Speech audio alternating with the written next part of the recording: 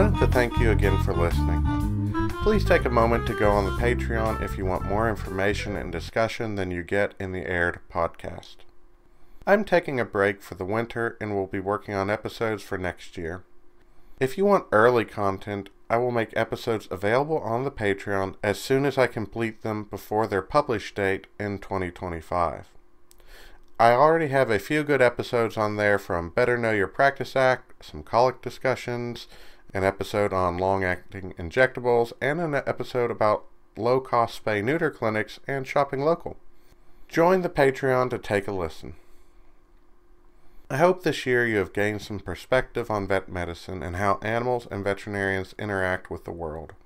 I am very grateful to all the people who came on the show, and I'm also very grateful for the discussions we had. I know I enjoyed them and learned to become a better person from them.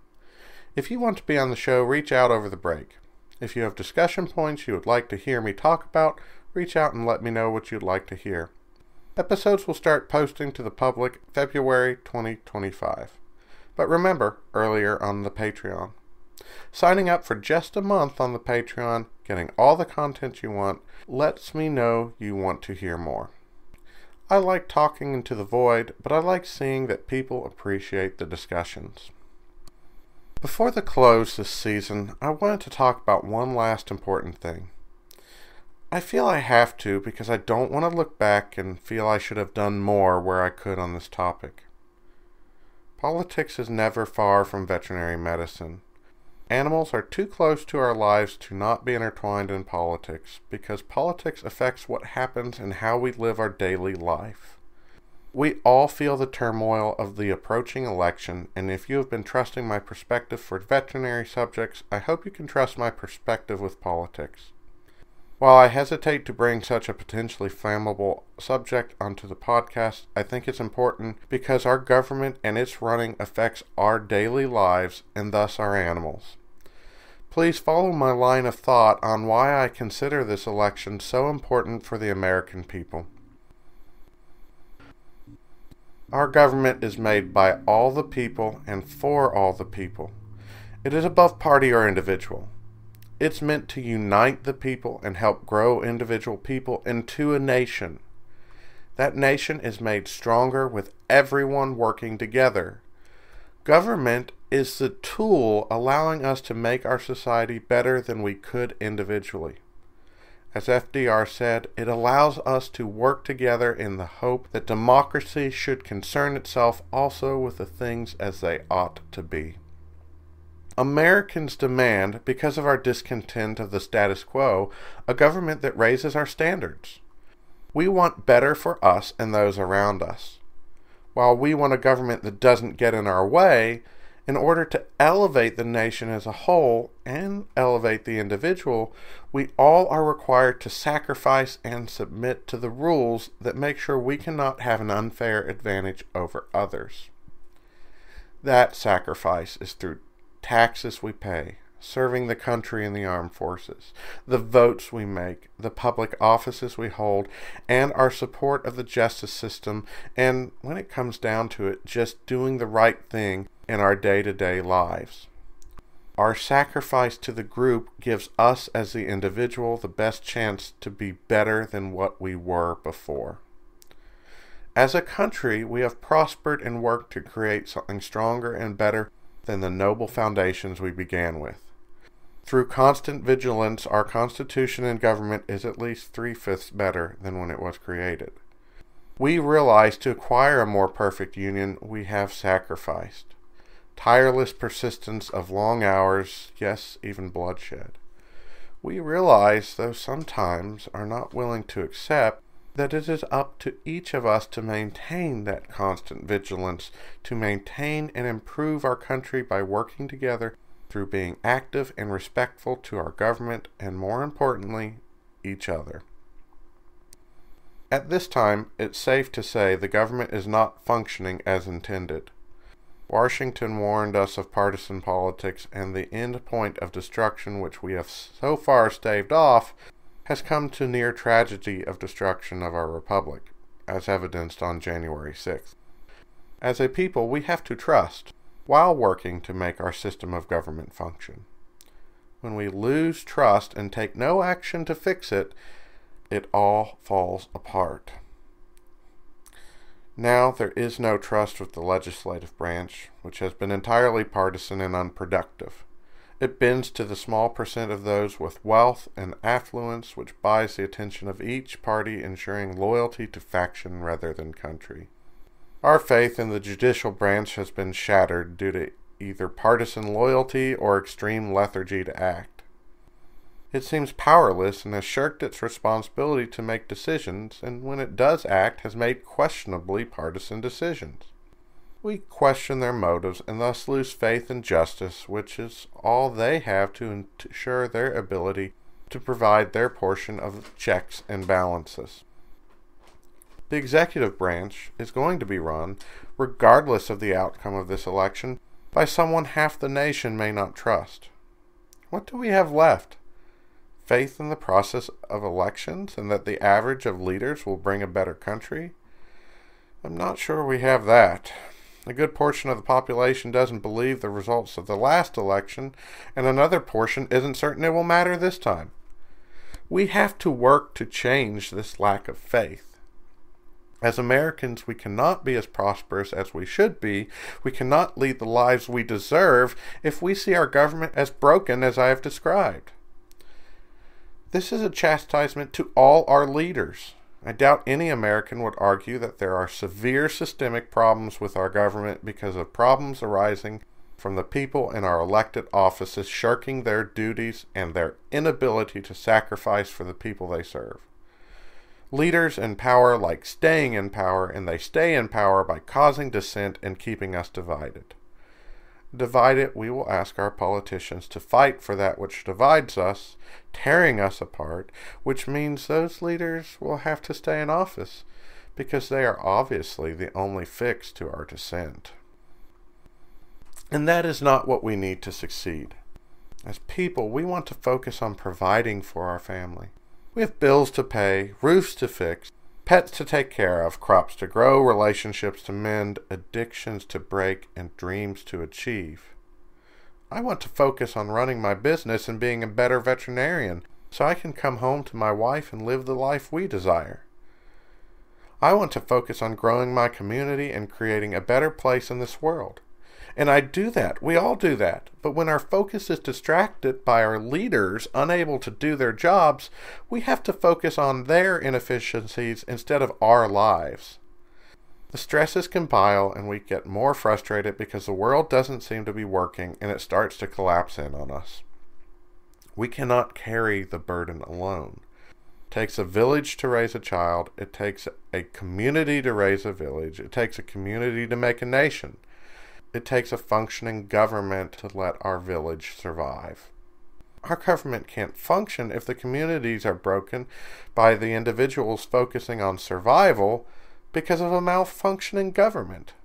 If I'm busy worrying about revolution because of government oppression, I can't focus on protecting my family, much less providing better medical care for my patients. Thomas Jefferson wanted a revolution in each generation. Why? To renew and revive the government. The Constitution is our supreme law of the land. Yet we know that document can and should grow with time, just as our country should. The founders knew they needed a core charter between people and the government that would be unchanging yet adaptable. Our country and its charter was a grand experiment. As Washington said, the Constitution was imperfect, and as Jefferson inferred, it was up to new generations to improve and update it. Each generation would sacrifice to make the Constitution and the country better for the next. Sometimes we are called to hold it together and defend it. The stresses of the Civil War fractured our country, and we are still mending those wounds that actually formed from a crack at the formation of our country. How do we serve our country and prove we're Americans when the threat comes from domestic rather than foreign threats? We've tried by war, so I think now we should peacefully work through discord. If at this election we peacefully achieve our goals, we then must work for better results at the next election. But guess what? We all don't agree what a better future is. And because my better future isn't your better future, we have to come to compromises. That's why we all need to vote to make our voice heard. That's why we all need to register so we can vote and vote in this election. We are losing faith in the system. It's on life support right now. We don't trust our government or how it functions. Everything our forefathers have built comes down to us now, and we don't trust what our government has become. If we don't actively take part in this system and make it function how we want, so what so many have fought and died for will be lost. This is important. For those of you who don't vote, shame on you. Shame. This is important. Register, sign up, and vote. It's important because a Marine died in the Pacific for you to be able to make this system better. It's important because a farmer worked his whole life in the Depression to survive so his children could have a better life. You discredit them with your inaction and yourself. Our government helps us live in our day to day lives.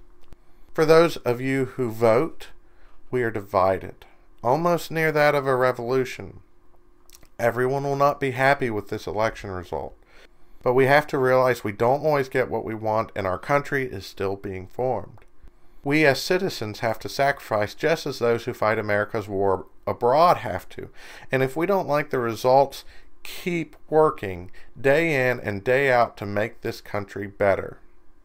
You have to vote for who you want to be president and the direction you want this country to go. That hasn't changed since the first election we held. But with this election, you need to realize what you are voting for. We are too at each other's throats and have lost sight of that. I don't blame you for wanting to vote for one candidate or the other, or wanting to have another candidate in the mix. That is your right to be able to vote for whomever you want. I don't want to take that from you. We have to use the votes and accept what people vote for and not turn to violence. For when that happens, we can only meet violence with violence.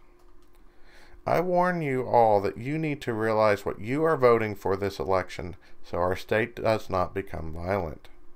I realize that so many people who have become so partisan feel they are doing what is right to save the country they love.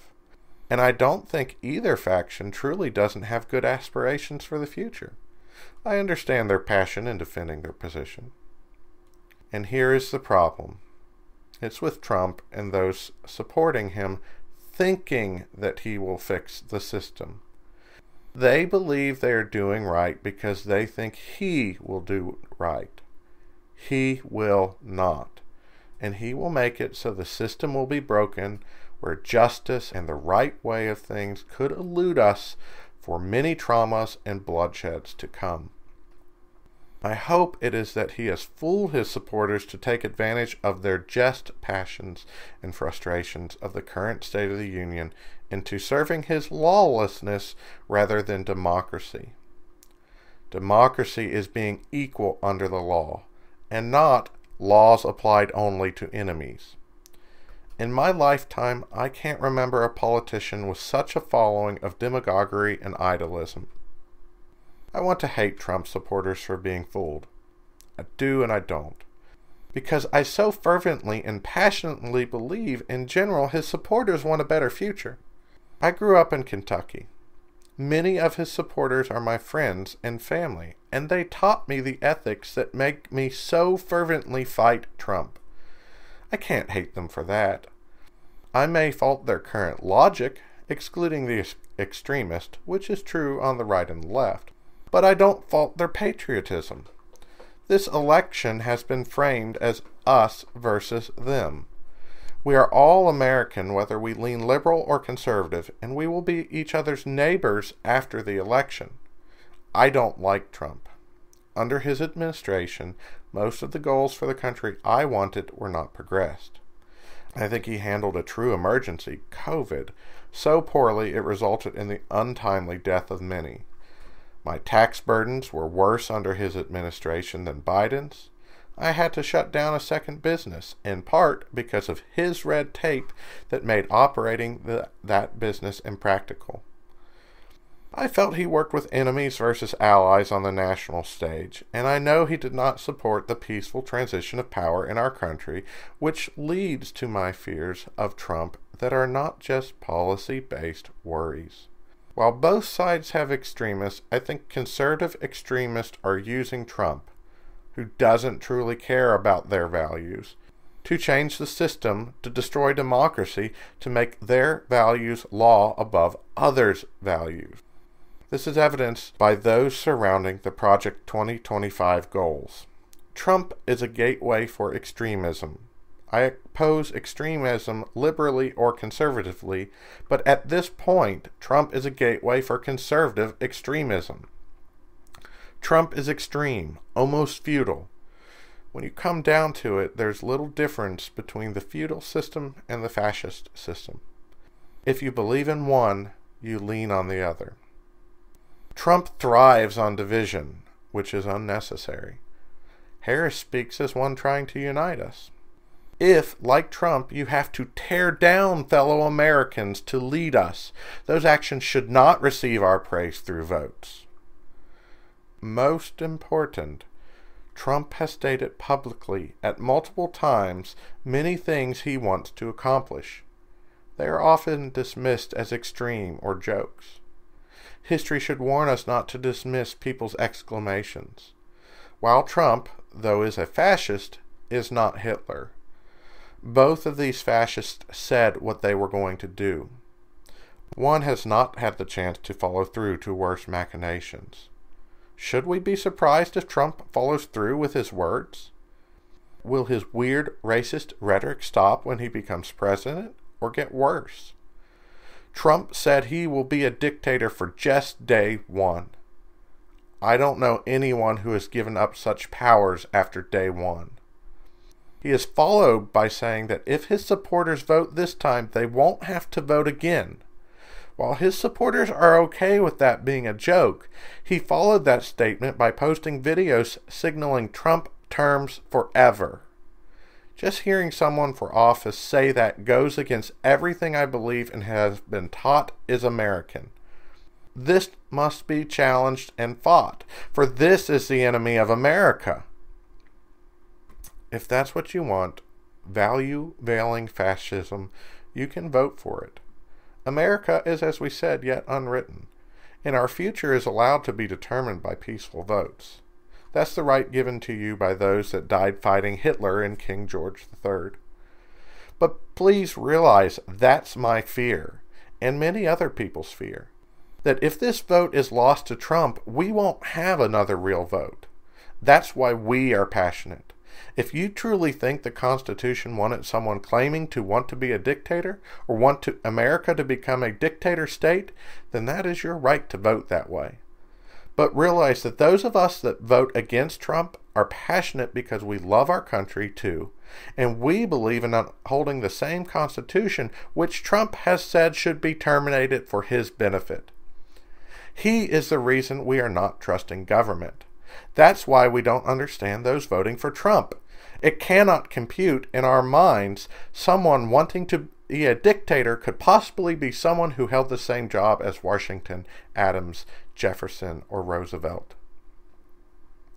It's not every generation that has its fundamentals tested. It's every person, every day, and every action. We are all being tested right now. I can't walk into surgery on a patient saying that because I completed the last surgery well, I will complete this surgery well. The same as I can't say my ancestors completed surgery well, so I will complete this surgery well. No, surgery is unique and individual, and its outcome has consequences. Democracies are unique, and this one's outcome will be determined by your actions today. The government of the United States refuses to forget that the Bill of Rights was put into the Constitution not only to protect minorities against intolerance of majorities, but to protect majorities against the enthronement of minorities. Most of us are just trying to survive. We aren't in the 1%, we are in the 99 and very likely always will be. And the needs of the many outweigh the needs of the few, except in the eyes of the 1%. The current 1% is dividing the 99. We're fighting against each other because we became zealous in our ideas and feel we have to fight for those ideas because that is the duty of good Americans. Then we became divided. Americans went without pay and shoes in the frozen winters of Valley Forge. Americans came together and stopped fascism from sweeping the world in World War II. Americans looked to the moon and landed on it. We did this united. We did this over generations. What truly makes us not American is when we are not working together. My plea is we do not elect Trump on November 5th. Then on November 6th, we work on the next issue to fix, because we have a lot of them. We have to fix each body of government, and we have many issues that need addressing. I can't stop you from voting for Trump, that's your right. Vote your conscience. But I have one request, one plea.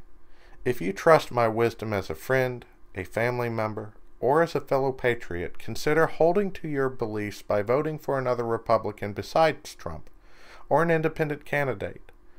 Your action shows you want your conservative values, but you understand the fears, which I think you have to admit are justifiable, of your fellow citizens and you respect them.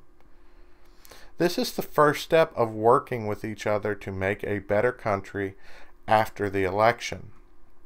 If we can move past Trump, we can then see that there is still a large part of the nation that holds to conservative values which must be fairly respected. And whether you are a Republican whose party has been hijacked by extremists or a Democrat who isn't holding true to democratic ideas, we all need to self evaluate and then use our actions to make America's ours again, taking it back from the extremism that keeps the average person from surviving. If we can keep Trump out of office, we have a good precedent at each following election of holding our leaders to account and reforming and revolutionizing the country. For we have problems and we need both conservative and liberal solutions. However, if we cannot keep Trump out of office, our grand experiment will have failed, and I do not believe we will have a chance to fix those problems. We will see a slow degradation of American society. Make your vote count for democracy in our republic. Give it a chance to survive. That's where I am. I am personally excited because I will be voting for Harris and Walz.